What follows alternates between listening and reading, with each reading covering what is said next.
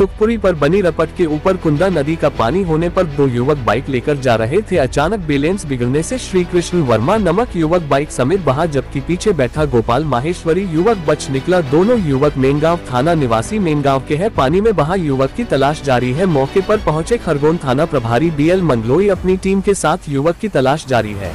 तो बाकी तो बाकी दोनों गाड़ी से उधर से आ रहे थे। और यहाँ एक भैया भी बैठे थे जो मिट्टी माल क्या यहाँ काम करते हैं। हाँ, ये भैया क्या नाम है भैया? वो भैया भी थे यही बैठे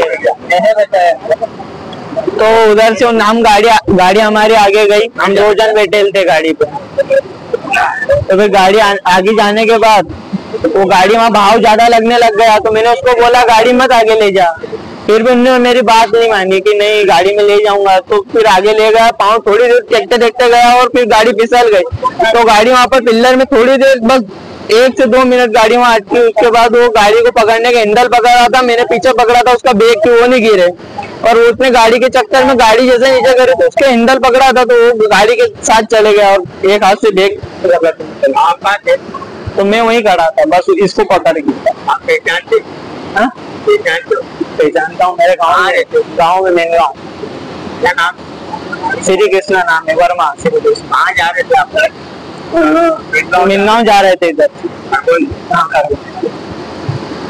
कब की घटना है? ये हम आज दुकान पे सात इक्कीस को निकले थे यहाँ सात चालीस की ऐसी हो रही होगी। आप दो थे? हाँ हम दो ही थे। क्या नाम है आपका? मेरा नाम गोपाल महेश्वरी। कहाँ रहते हो मिलगांव रहते हैं। सुखपुरी की रपट है, उसमें से अभी करीब, एक आध फीट पानी बह रहा है। उसमें से एक सूचना मिली थी कि एक मोटरसाइकिल से एक युवक बह गया है।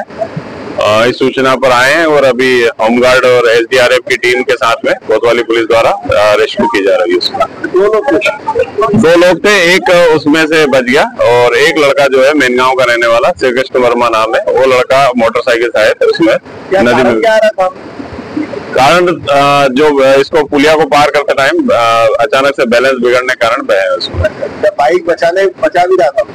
हाँ जो साथ वाला लड़का उसका कहना यही है कि बाइक को बचाने के चक्कर में उसके साथ में बह गया वो। क्या नाम है सर? B L Mandloi